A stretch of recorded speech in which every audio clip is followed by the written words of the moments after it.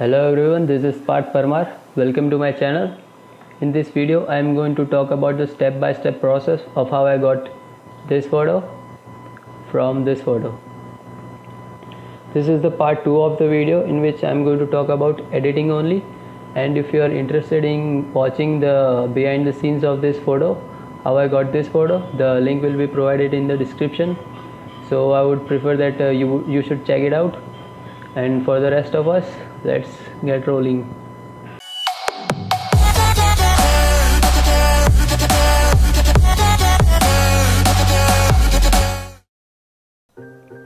We are going to start with our base layer.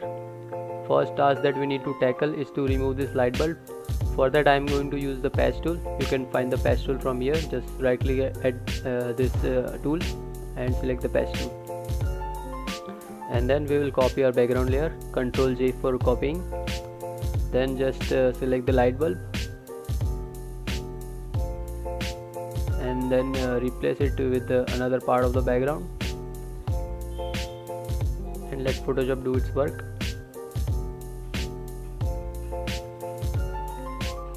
Uh, we messed up a little bit.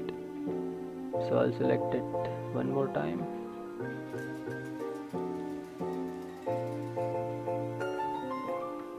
okay so this is the result uh, that we are going to get.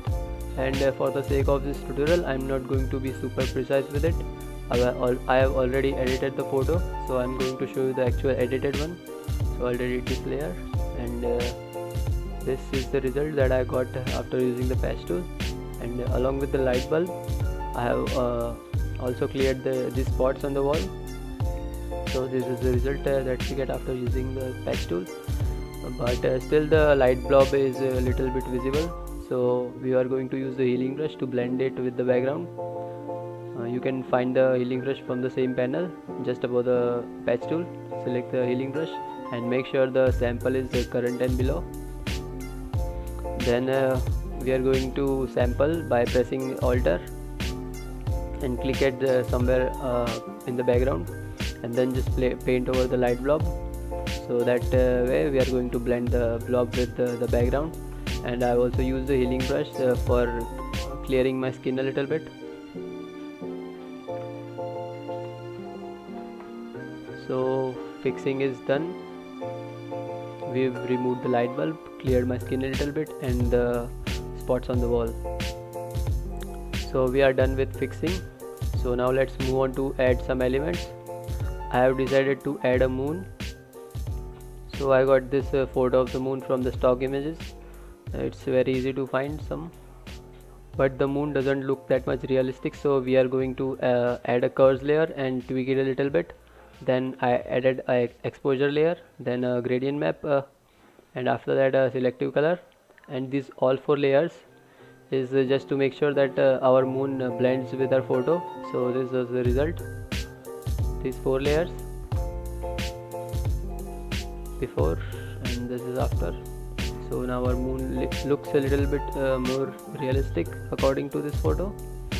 And after that I added some clouds and uh, to blend them with the photo I use the curves layer.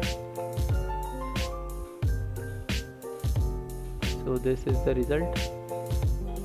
And at the end I added a gradient fill just to make uh, it glow a little bit so this is our result by far and our photo is ready to be color graded. For color grading I use the color lookup tables which uh, this specific one. And after that I added a curve layer to uh, make it a little bit uh, darker then a gradient map. And after that a curves to make a this uh, part glow a little bit. So this is our color grading but uh, the photo still looks a little bit blank so I thought I should add some more elements. So I thought that uh, some galaxy would be okay. So first I added the stars. Then after that I added this cluster of stars and uh, use the curve layer to make them uh, pop a little bit. So this is the result by far after adding the galaxies then I use the gradient fill to make this photo a little bit more darker. And another gradient fill to add a glow to my face and this moon. So this is the photo by far. And then at the end I compressed all my layers into a one layer so I can show you the before after very quickly. So this is the photo that we started. Then we uh, did our fixing and removed this uh, the distracting things then we added the moon and the clouds. Then we color graded it. After that we added uh, some more elements. And at the end we added some lightning tweaks. So that's it guys. This is how I edit my photos. And uh, I hope that you learned something. And uh, we will meet in the next video. So bye. Keep clicking